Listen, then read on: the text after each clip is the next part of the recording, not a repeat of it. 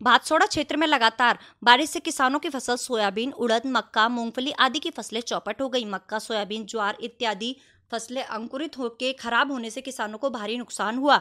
यही नहीं, किसानों की गत वर्ष की फ़सल भी अनावृष्टि से नष्ट हो गई थी, जिसकी भी गिरदावरी समय पर नहीं होने से किसानों को सरकार से कोई राहत नहीं मिल पाई। किसानों को इस वर्ष फ़सलें खराब से भारी नुकसान हुआ।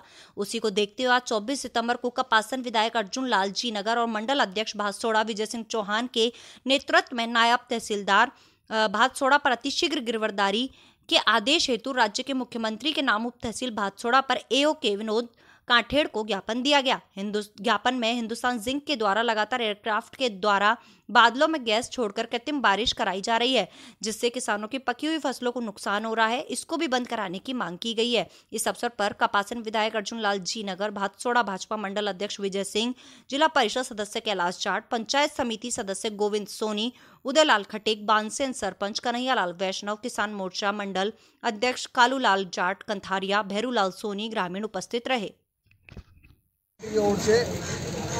नायब तहसील सोडा में ज्ञापन दिया गया है। फ़सल खराबे को लेकर के सरकार को हम चाहते हैं कि सरकार से हमारी आवाज़ पहुँचे कि जितनी भी फ़सल खराब हुई है मक्का ज्वार बाजरा सोयाबीन इनकी गिरदावरी करा करके जो फ़सलें खराब हो गई उनका मुआवजा दिलाया जाए।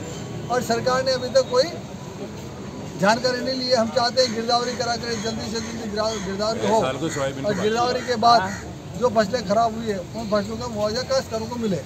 और दूसरी दूसरी ओर और दिक्कत आ रही है कि यहाँ पर जो अतिवृष्टि हो रही है अतिवृष्टि भी नहीं कह सकते हैं फ़सलें पक गई है और अभी हिंदुस्तान जिंक वाले बरसात करा रहे हैं हवाई जहाज़ के द्वारा केमिकल छिड़कर उससे भी बरसात हो रही है और ये पकी हुई फ़सलें जो अंकुरित हो रही है मक्का अंकुरित हो गया है मूंगफली अंकुरित हो गई है सोयाबीन अंकुरित हो रहा है ज्वार अंकुरित हो रही है और इस प्रकार से सारी की सारी फ़सलें और चौपट हो रही है। हम चाहते हैं कि हिंदुस्तान जिनके द्वारा जो हवाई जहाज़ के द्वारा बादलों के ऊपर केमिकल का स्प्रे करा के बरसात करा रहे हैं, उसको भी तुरंत रुकवाया जाए और हमारे क्षेत्र के काश्तकारों को जो हानि हो रही है, उसका ध्यान सरकार रखे और सरकार जल्दी से जल्दी काश्तकारों को कार्रवाई करे।